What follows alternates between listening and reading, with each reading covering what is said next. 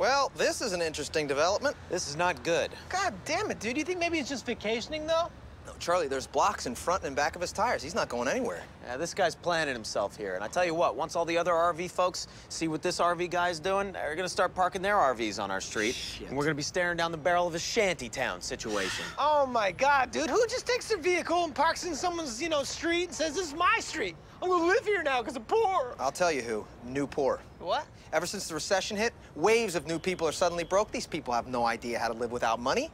They're what's called new poor. Uh-huh. We're old poor. Yeah, they could stand to learn a lesson or two from us because we would never take our homelessness and shove it down everybody's face. Oh, have some class if you're gonna be poor. All right, let's get this guy out of here. Send him a message. Let's do it. All right, let's, slash his tires. Yeah, well, not that, though, because then he can't leave. That doesn't make any sense. Oh, you start putting plans under microscopes and nothing's gonna make sense, all right? Lots of things make sense. Slashing someone's tires so that they leave makes no sense. You gonna put everything I say under a microscope, bud? It's a stupid idea, Charlie. Oh, I'm sorry, you have a better plan? D, sharpest item in the bar. I need it now. Let's go. Oh, What the hell's going on over here? Oh, Frank's trying to kill himself. Oh my God, is- is he all right, Frank? Are you all right?